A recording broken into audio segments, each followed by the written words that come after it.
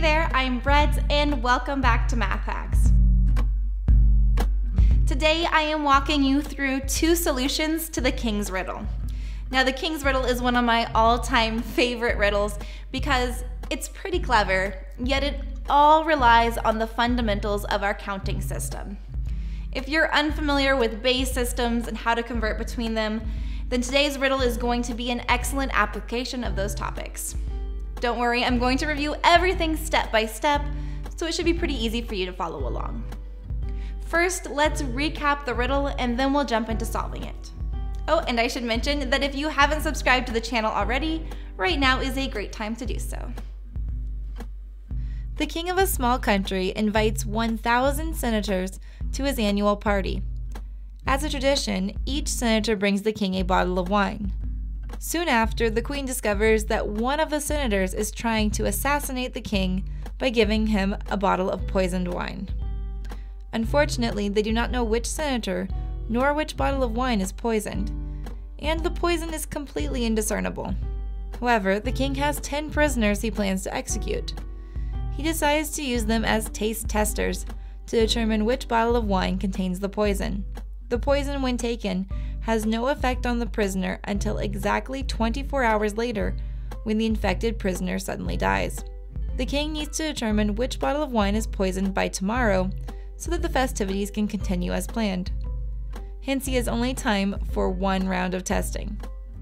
How can the king administer the wine to the prisoners to ensure that 24 hours from now he is guaranteed to have found the bottle of poisoned wine? At first glance, this seems like an absolutely impossible task. How can we test 1,000 bottles of wine with only 10 prisoners. And I think that's the most mind boggling part of this riddle is that it feels like we would need a lot more than 10 prisoners to accomplish this task. So, before we jump into how we're going to solve this problem, how we're going to distribute the wine, and how we're going to trace down that poisonous bottle, the first thing we need to think about is why 10 prisoners is a sufficient number of prisoners to test all of these bottles of wine. Now, when you first think about this, you may be thinking that each prisoner tests a different bottle of wine, so you can only test 10 bottles of wine at once. Although that's true, that is a way to test 10 bottles of wine. That is thinking about each bottle and each prisoner separately. And what we can do here is think about all 10 pres- prisoners and their outcomes together. And when we think about all 10 of them together, we realize that we can make a lot more potential outcomes. We can make at least 1,000 different outcomes. Now, once I've confirmed that we have 1,000 different outcomes, then I know that I just need to come up with a system to distribute the wine so that each outcome can be traced back to a specific bottle. So let me explain a little bit more about how 10 prisoners can have over 1,000 different outcomes as a group. So after each prisoner drinks from their assigned wine bottles, in 24 hours, we will find out the outcome. And each prisoner has two outcomes. After they drink the wine, they will either live or die. So let's draw a little picture here. I'm going to draw a slot diagram and I'm going to draw 10 slots, one to represent each prisoner. And I'll go ahead and label these prisoners alphabetically. Now, after 24 hours, prisoner A will either live or die. So there are two potential outcomes for prisoner A. Using combinatorics, I'm just going to go ahead and write above prisoner A a 2 to represent the two possible outcomes. Now, prisoner B has the same two possible outcomes. Prisoner B will either be alive or dead after 24 hours. Course, this is true of all of our prisoners, so I'm just going to fill in twos above each of the prisoner's positions. What we want to know is how many different possible outcomes there are if each prisoner can either live or die. So using our multiplication rule of counting, all I need to do here is multiply each prisoner's potential outcomes together. So I'm going to multiply 2 times 2 times 2 times 2 times 2 times 2 times 2 times 2 times 2 times 2, or simply 2 to the 10th power since I have 10 prisoners. And when you calculate that, you get 1024. That means that I have more than enough potential outcomes to test 1,000 bottles of wine. Technically, I could test up to 1,024 bottles. Now that we've confirmed that 10 prisoners has enough outcomes to test 1,000 bottles of wine, we can go about the process of figuring out how we're going to distribute this wine so that all 1,000 bottles of wine are tasted from and no two prisoners have drank from the same subset of wine. We also need to distribute the wine in some sort of methodical or systematic way and be able to trace back the poison from the different prisoners' deaths. So we need to be able to figure out which bottle of wine was the poisonous one depending on our total outcome. Now that's a little bit tricky, so let's take it easy. First thing, we need to label the bottles of wine so that way we can tell them apart. So I'm going to number the bottles of wine from 0 to 999. Next, let's go ahead and create another slot diagram just like the one we used up here in our precursory problem. So I'll go ahead and write out 10 little spaces and label them A through J.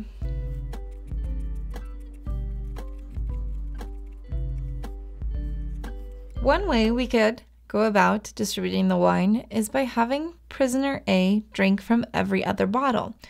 So prisoner A would drink from all the even numbered bottles.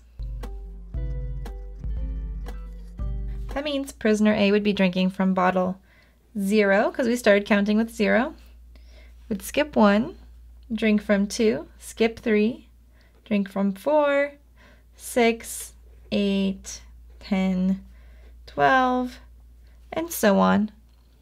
Now let's have prisoner B drink from every other pair, so every two.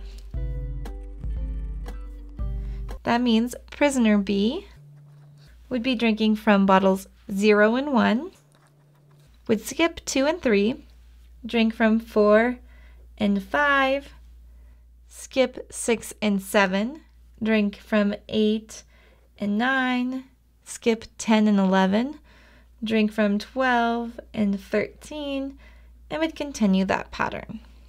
Now let's have prisoners C drink from every other set of four. So C would be drinking from bottles 0, 1, 2, and 3, and then would skip 4, 5, 6, and 7, and then would drink from 8, 9, 10 and 11, and would skip 12, 13, 14, 15, and then would drink from the next four and so on. Are you beginning to see the pattern I'm doing here? So we did every other bottle with prisoner A. Prisoner B did every other two. Prisoner C did every other four. Let's have prisoner D do every other eight. So I'm simply just doubling the number that I'm having them drink and skip from. That means the prisoner D would be drinking through, from bottles 0 through 7, and then we'd skip 8 through 15, We'd drink from 16 through 23, We'd skip the next 8, drink from the following 8, and so on. Prisoner E then is going to drink from every other 16, which means that prisoner E will be drinking from bottles 0 through 15, We'll skip bottles 16 through 31, and then we'll drink from bottles 32 through 47, and skip the next 16, drink from the following 16, and so on. Next, we'll have prisoner F drink from every other 32, which will look like drinking from bottles 0 through 31, skipping 32 through 63, and then drinking from bottles 64 through 95, skipping the next 32, and then drinking from the follow 32, and so on. Prisoner G is going to drink from every other 64, So prisoner G will drink from 0 through 63. We'll skip the next 64 and then drink from 128 through 191. And then skip the next 64 and so on. Prisoner H will drink from every other 128. So we doubled 64. Which means H will be drinking from 0 to 127. We'll skip the next 128 and then we'll drink from 256 through 383 and so on. All right, we're almost there. Prisoner I will drink from every other 256.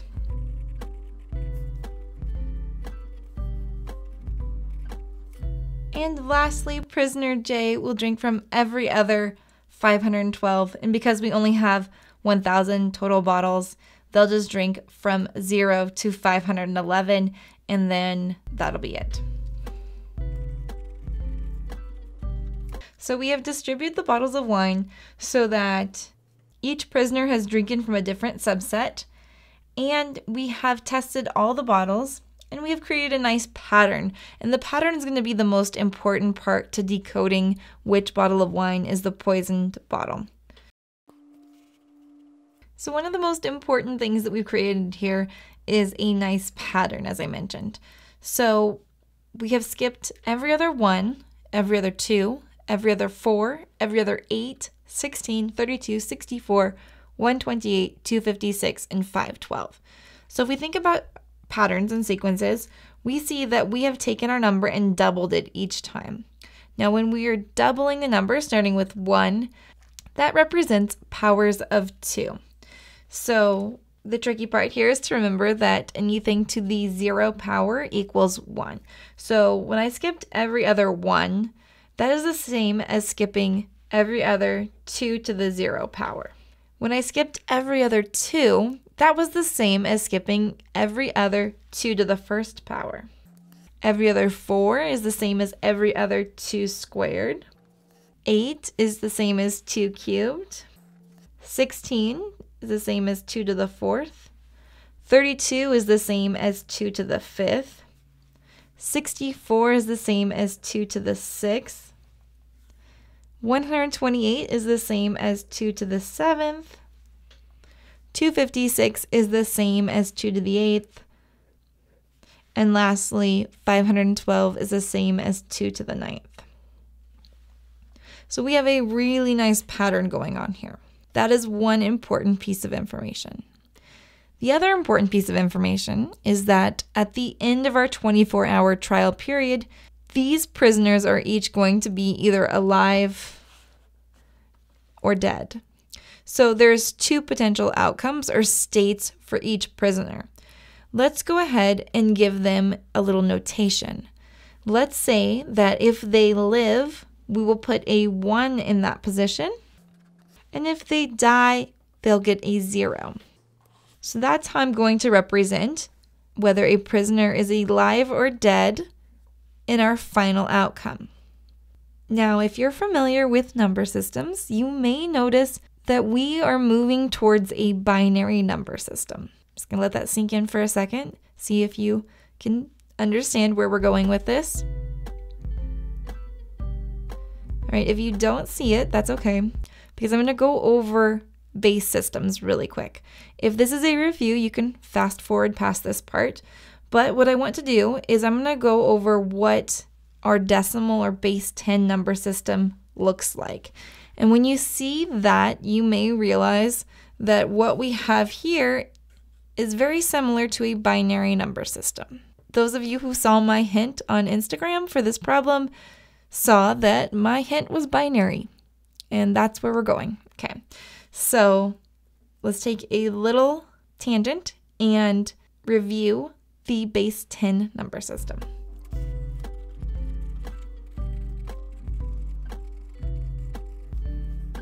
So, thinking back to elementary school when we first learned about our number system, they told us that the first position in a number was the ones place.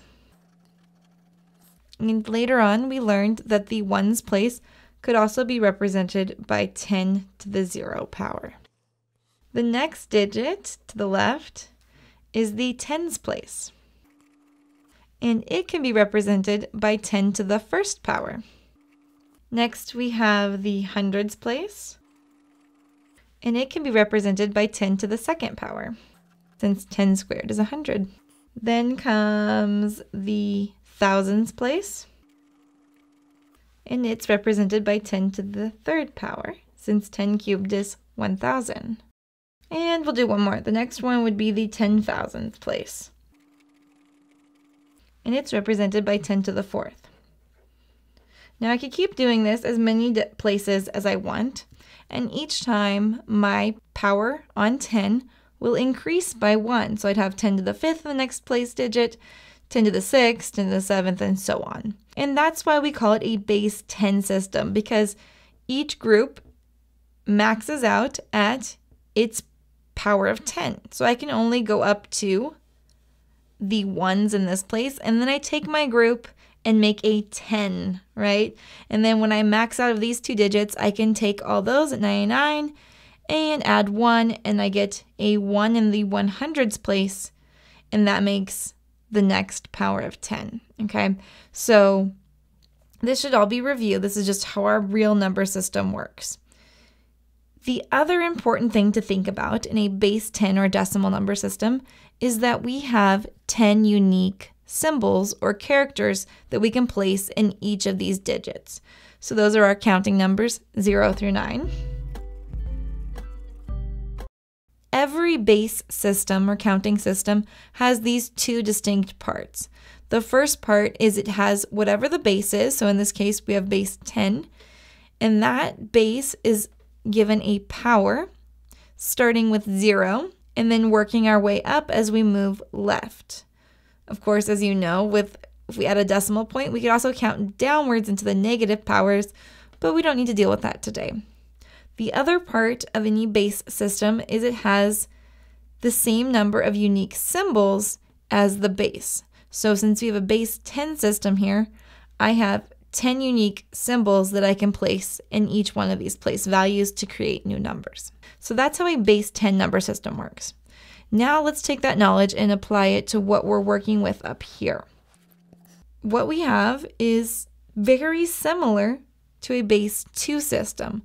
I have 2 to the 0 power, and then 2 to the 1 power, 2 to the 2 power, and counting up.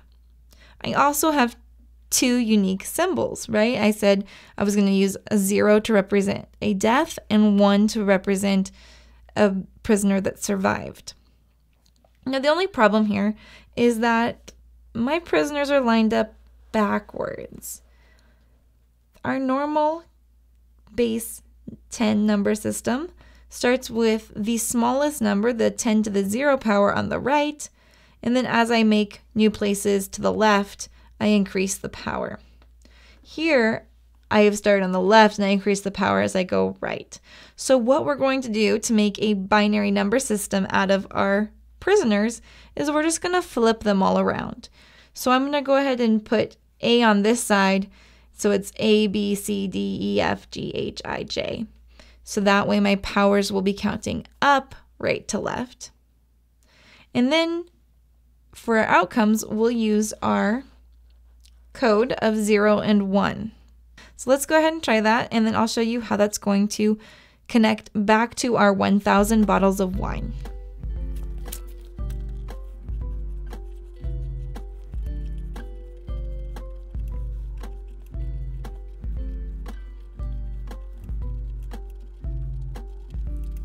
So I've gone ahead and reordered our diagram so that prisoner A is on the far right and J is on the far left. And we have our code here for our outcomes. They're going to be zero for death and one for alive. So each prisoner will either get a zero or one in their position. The neat thing here is that the outcome of the 10 prisoners, whether they live or die, is going to be expressed as a binary number. We'll have like 0, 1, 1, 1, 0, 0, 0, 1, 0, 1. And that binary number can be converted to a decimal number, and I'll show you how to do that. And that decimal number will correspond directly to the bottle of wine. because we numbered our bottles of wine 0 to 999 in our standard decimal system. So let's work through a few examples so you can see how this translates back. Let's start really simple. Let's say that all the prisoners died. So I would have zeros in all 10 positions. This means that whatever bottle of wine was the poisonous one, every person drank from it. Now, all we need to do is convert our binary number, which is all zeros in this case, to a decimal number. And that's really easy to do. All you have to do to convert is take the number in each position and multiply it by the place value of that, and then add all those together. So for this first one, it's really easy since 0 times 2 to the 0 is 0, and 0 times 2 to the first is 0, 0 times 2 to the second is 0, and so on. I'm going to have just zeros all added together. So 0 in binary is still 0 in decimal, which means that 0 is the number on the wine bottle that was poisonous. So if all the prisoners die, I can trace it back to wine bottle number zero. Now let's go ahead and take a look at our wine distribution to get a feel for what happened there. Now, if I look back at the wine distribution, I see that it's true. All 10 prisoners drank from bottle zero. So, bottle zero was the poisonous wine bottle if all 10 prisoners die.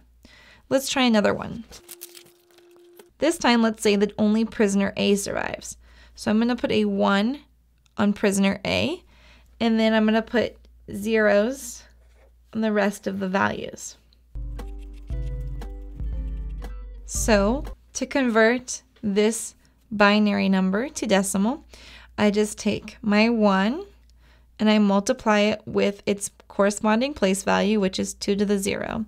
So I have 1 times 2 to the 0 and that's the only calculation I need to do because the rest of the places are zero, so they are going to sum to nothing. So 1 times 2 to the 0 is equal to 1 times 1, since anything to the 0 power is 1. And so this is equal to 1. Again, not very exciting because 1 in binary is the same in decimal. But this is helpful. So if everyone except for prisoner A dies, I am saying that the poisonous bottle is bottle number one. Let's look back at our wine distribution to see if that makes sense. Here we see that prisoner A skipped bottle one because prisoner A only drank from the even bottles. But the rest of the prisoners drank from some set of at least two or more, starting with zero. So that means that prisoner B through J all drink from bottle one. So once again, our conversion works out. Okay, so so far our conversions haven't been very exciting.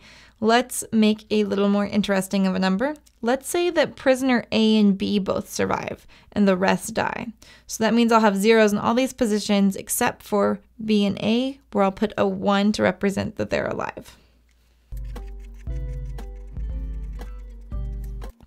So this binary number, which is just 1, 1, because I don't really need to pay attention to all these placeholder zeros if there's no ones over here. But to convert it back to a decimal number, I would just multiply 1 times 2 to the 0 and 1 times 2 to the first and add those together. So I'm going to get 1 times 2 to the 1 plus 1 times 2 to the 0. So 2 plus 1 equals 3. So if only A and B survive, we're saying that bottle number 3 was the poisonous bottle. Again, let's check that with our wine distribution. So we see that A, in fact, skipped number 3 because prisoner A only drank from the even numbered bottles. Prisoner B drank from 0 and 1 and then skipped 2 and 3, and drank from 4 and 5. So prisoner B also skipped 3. Now, let's see. Prisoner C drank from 3, Prisoner D drank from 0 to 7, that includes 3. 0 to 15 includes 3.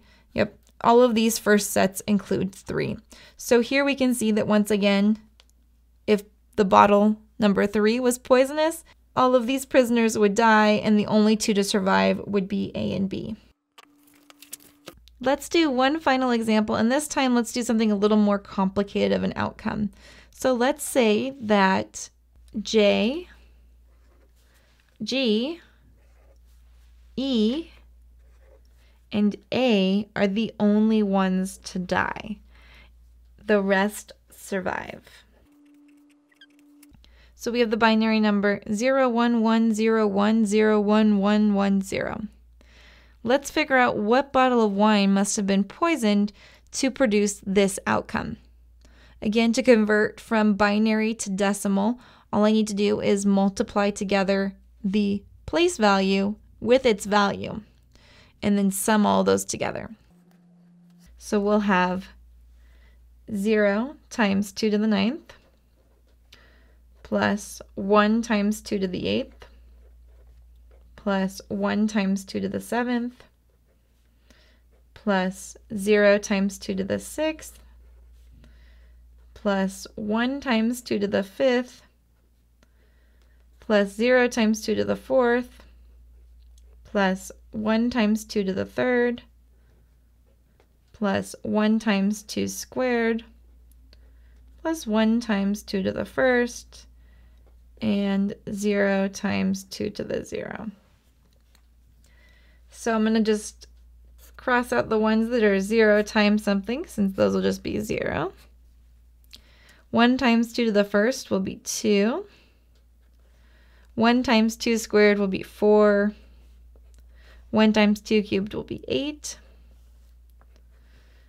1 times 2 to the fifth will be 32. 1 times 2 to the seventh will be 128 and 1 times 2 to the 8th is 256. So if we go ahead and add all of these together, we get 430.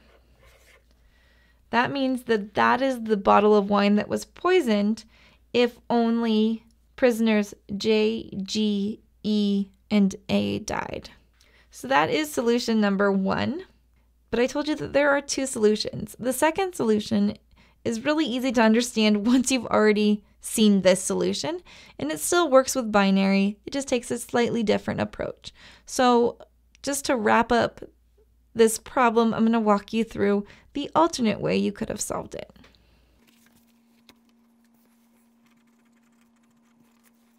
All right, for solution number two, you would begin by taking each bottle of wine and labeling it 0 to 999, just like we did in the first problem. Now, step two is interesting. What you would do on step two is you would also label each bottle of wine with its binary equivalent. So I'll show you what that looks like. So let's say we have wine bottles, wine in decimal here, and then binary on this side. So wine bottle number zero in decimal will also be zero in binary. We learned that before. But what I'm going to do here is I'm going to make sure that each binary number is 10 digits. So if it's zero, I'm just going to put in placeholder zeros until I get 10 digits. So for this one, it'll just be 10 zeros next to each other. Again, you wouldn't, normally in binary, you'd just write zero. But for this problem, we're going to be using this as a diagram. So I'm going to just write out an additional nine placeholder zeros. Okay. The next bottle of wine would be bottle one. And as we learned in our other example, we just put a 1 and a 2 to the 0 position, and then I'll fill in with zeros to make it 10 digits long. Next, we'll have bottle number 2, and I'll convert that to binary and a nice little helpful thing you can do if you're having trouble with this conversion is you can draw a little diagram and write down the place values. So remember we start with 2 to the 0 and each position to the left, we increase the power by 1. I'm just going to go up to the ninth since all of our binary numbers will be 10 digits long. Underneath this, though, I'm just going to write what these are equivalent to if I multiply it out. So 2 to the 0 is the same as 1. 2 to the first is the same as 2. 2 to the second is 4. 8, 16, 32, 64, 128, 256, and 512. So when I'm converting from decimal to binary, I can place zeros and ones in these positions. And I just want to make sure that whatever positions I place, when I add them together, it totals to this number. So for example, to get 2, I would put a 0 in the ones position and a 1 in the twos position. So I'd go 0 and 1. So that is binary for 2 because I have 0 here and 1 here. And 1 times 2 gives me 2. In our problem, we're going to add our placeholder zeros so that it's 10 digits long. So I'll just add 8 zeros to the left. All right, let's try another one. So wine bottle 3 in decimal would convert to, to make 3, I need a 2 and a 1. So I'm going to put a 1 in this position and a 1 in this position. 1 times 1 plus 1 times 2 gives me a total of 3. So that's the conversion. And for measure, we'll add our placeholder zeros. Wine bottle 4 now I have a fours place right here. So I'm just going to put a 0, 0, and a 1. So 1, 0, 0 is equivalent to 4 in decimal. And then because we're doing our placeholders, I'll add zeros for the rest of these places. All right, let's do one more example. So bottle 5, to make 5 out of these numbers, I need a 4 and a 1. So I'm going to put a 1 in the ones place a 0 in the 2's place, and a 1 in the 4's place. That way, 4 and 1 make 5. So 101 is the same as 5 in decimal, and I'll add my placeholder zeros. So you would have to go through and do this for every number up to 999. And then on each bottle of wine, you would have its decimal value and a 10 digit binary number. So we're basically working in the opposite order that we did in our alternate solution. Now to distribute the wine. So in this problem, what we would do is we would take our first bottle of wine and we'd look at it and it would have a zero in decimal and it'd have a zero in binary. And I'd have my 10 prisoners lined up and I would match up each of my 10 digits with the prisoner in order. And if there is a zero in the same position as the prisoner, then the prisoner will drink. If there's a one, then the prisoner will skip drinking from that bottle. So, for example, bottle zero, all 10 prisoners will drink from. Bottle one, the nine prisoners on the left will drink and the one on the far right will skip. Bottle 2, these eight prisoners will drink. This prisoner will skip and the one on the end will drink. 3, these eight will drink and these two will skip. And so on and so forth. You get the idea. So we're basically doing the same thing as we did in the other problem, except for we're doing our binary earlier on and we're using the binary as a sort of diagram to tell us who can or can't drink from that bottle.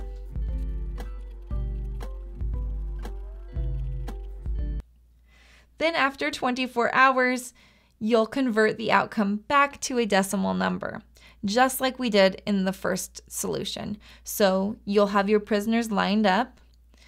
If they are alive, you'll give them a 1. If they are dead, you will give them a 0 in that position that binary number that you get, you'll convert back to decimal and it'll tell you which wine bottle was poisonous.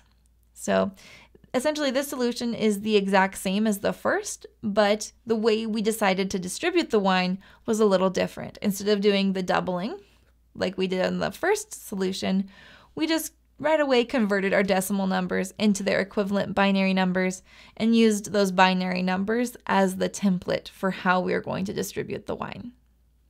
I love this riddle because it's really challenging, yet it's so fundamental. Really, the solution has to do with understanding the fundamentals of mathematics, which is our counting system. The fact that we have a base 10 counting system has everything to do with our hands, the fact that we have 10 fingers. That is the reason why we count up to 10 before starting over again, and that is where the decimal system comes from. It's also why each place value is called a digit, just like our fingers are called digits. And in the modern world of computers, you hear a lot about binary. The binary counting system would be equivalent to if we only had two fingers to count with. So every group of two, we had to move up a place value. Anyway, that's why I love this problem. I love that you are dealing with base 10 and base 2 number systems as the solution, really the key to unlocking this terribly tricky problem with a little bit of combinatorics thrown in for good measure, which to me makes a great riddle. Thank you so much for joining me on another episode of Math Hacks. If you are in need of math help, make sure to head on over to the Math Hacks channel where I have lots of easy to follow math tutorials waiting for you. Till next time, I'm Brett, and happy math.